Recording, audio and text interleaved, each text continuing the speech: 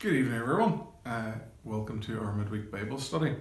Today we're going to be thinking of the lessons taught to us in Acts chapter 10, in particular the passage between verses 34 and 48. There has been some good news today. Um, I've heard on the BBC they're reporting that the executive has decided that churches will be able to meet together uh, physically in some form after the 29th of June, that Sunday week. So, whenever we get the details of what the government direction is, the Kirk session will talk about it and take a decision as to what we're doing. That decision will be communicated to you immediately.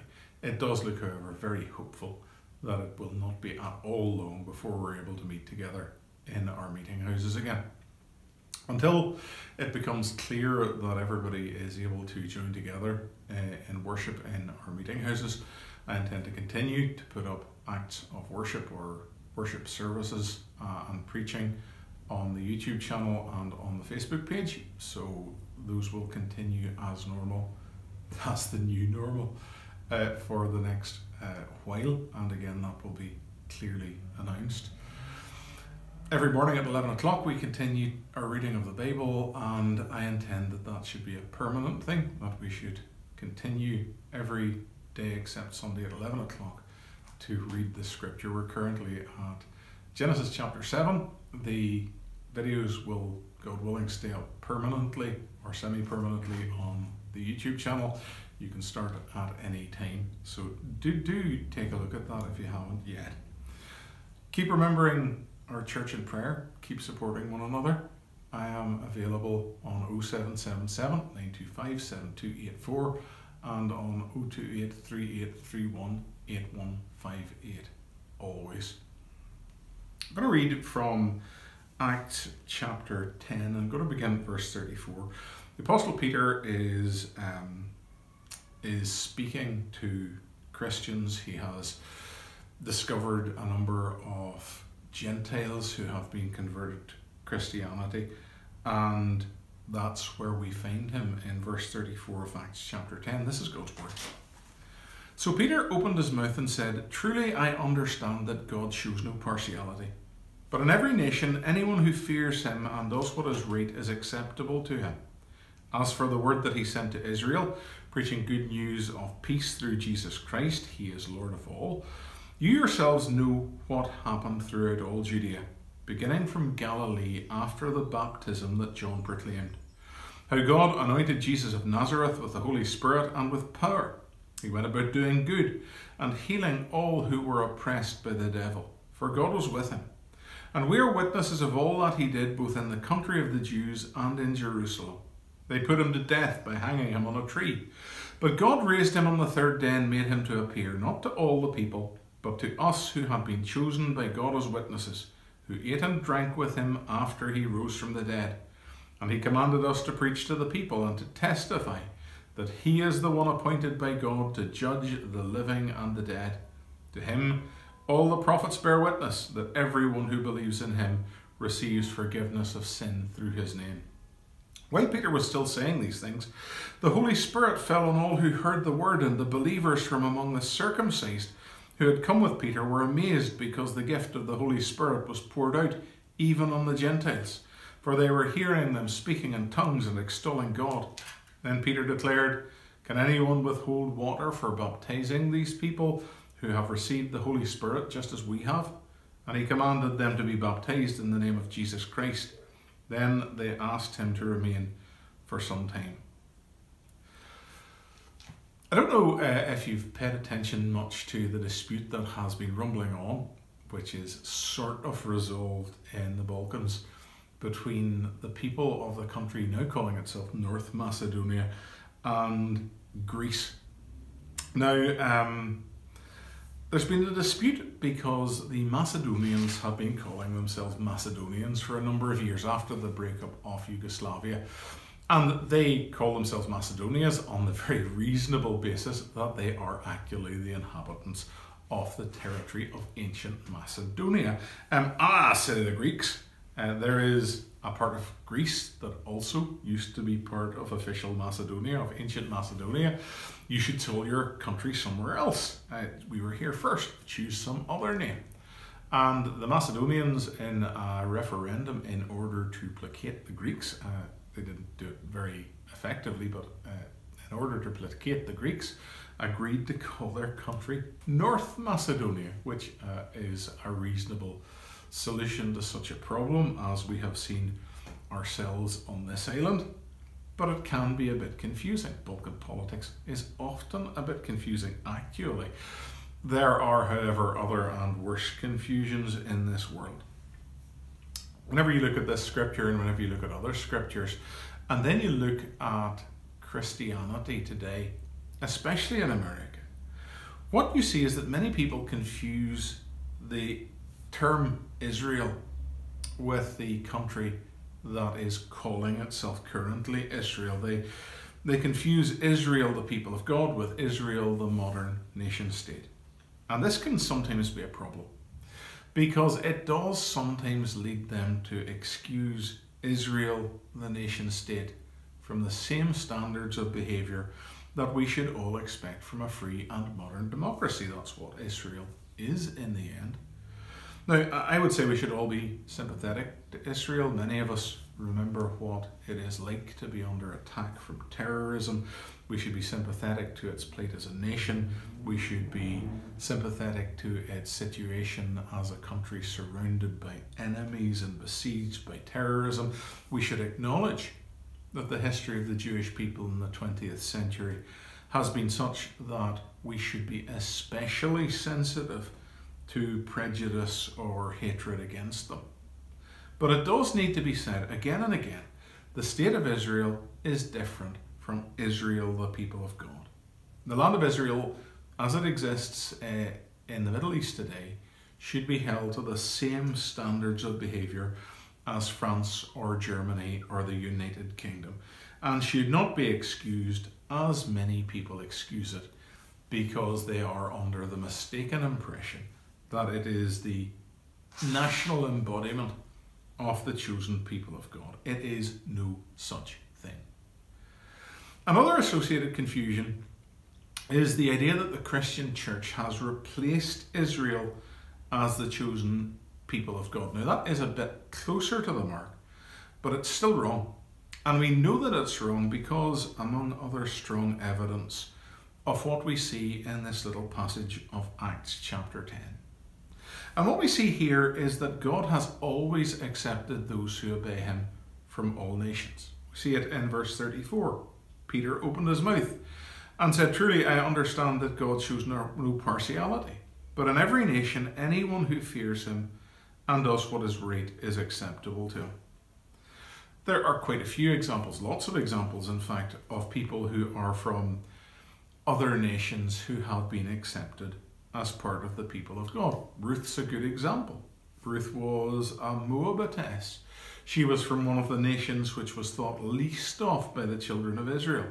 In Deuteronomy chapter 23, verse 3, we read this No Ammonite or Moabite shall be admitted to the assembly of the Lord, even to the tenth generation.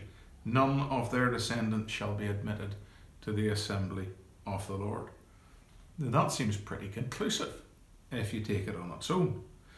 But the context, as I often say, that we need to understand every piece of scripture in is every other piece of scripture. They're all complementary, they're not contradictory.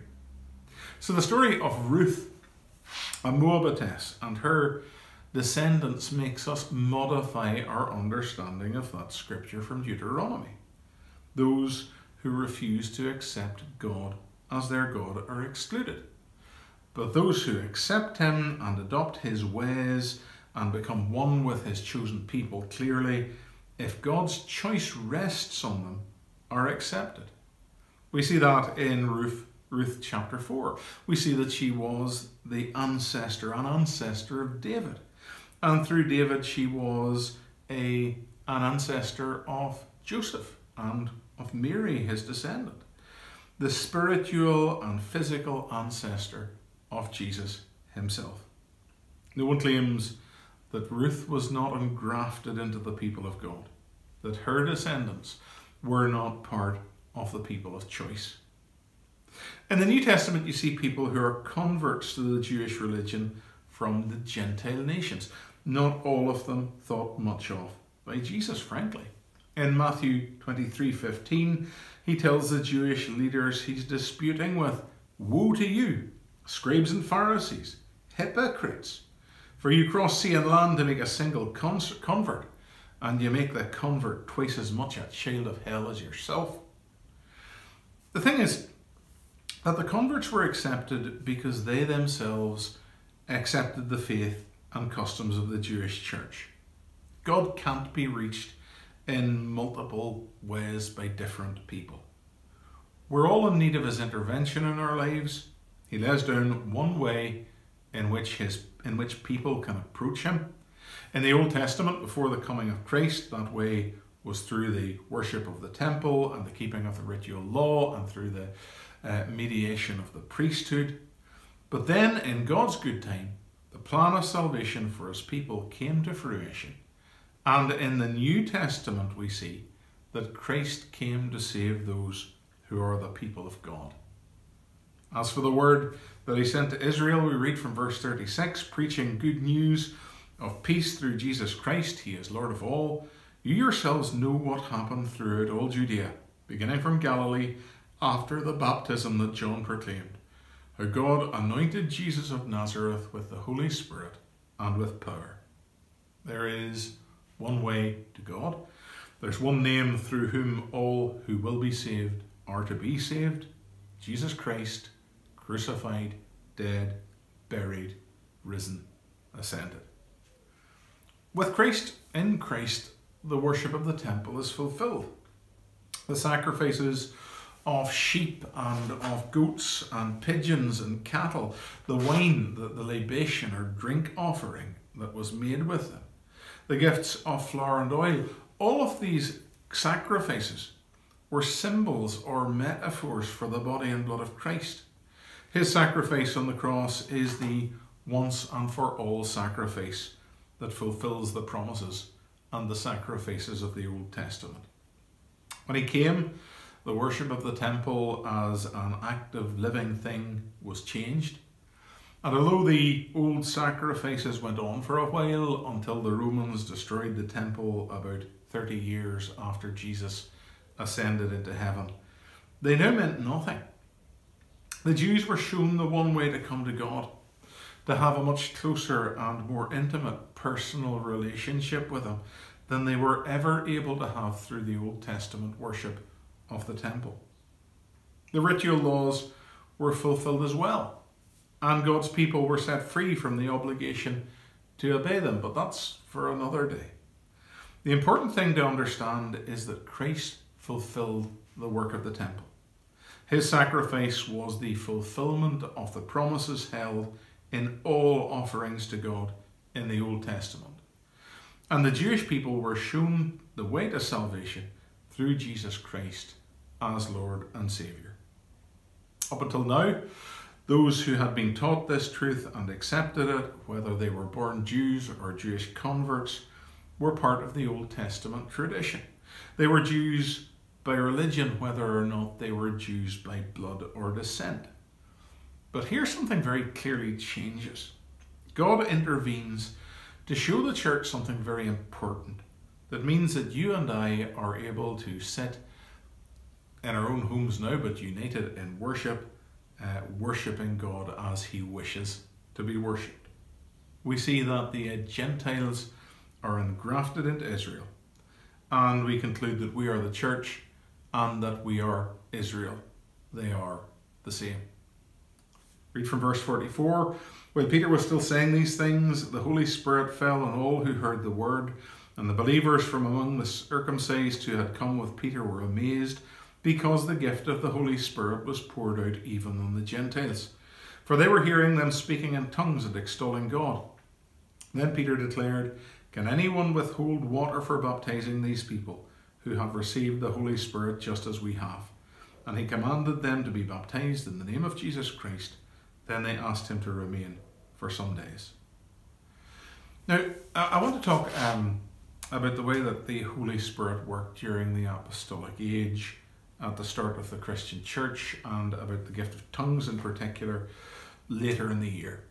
It is worth noticing that the people hearing the tongues spoken by Gentile believers understood what they were saying, that they were extolling God in languages, human languages that they had no knowledge of, but which were perfectly intelligible but that again waits for another day. You can watch this space.